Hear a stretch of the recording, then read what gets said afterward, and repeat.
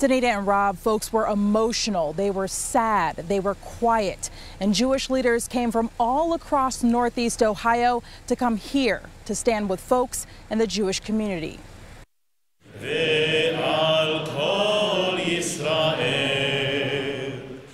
They sang a song calling for peace as Jewish clergy members lit a candle for each victim taken in the tragedy. Teach us to believe that we can rise up from this tragedy and banish the hate that is tearing our world apart. The message from speaker after speaker was one of hope.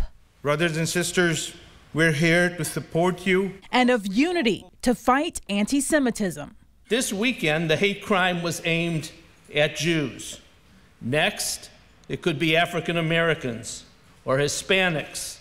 Hundreds of people spilled out of the Mandel Community Center in Beachwood Monday night.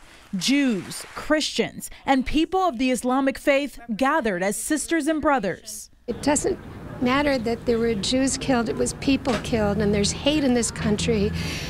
And it's frightening that it's coming out from under the rocks that we didn't believe were here. Clergy members of all different faiths declared unity in this time of tragedy. You've stood with us as a community for decades. We remember your stances. And although it was just a little step, mourners say they're now a bit closer and hurting a bit less. I think it was very healing to know that we all share the same pain. We are all children of God. Now, organizers say this is not the end. They see they say this will not be the last time we hear the names of those 11 victims here in Northeast Ohio. We are live tonight in Beachwood. Amanda Van Allen, News 5.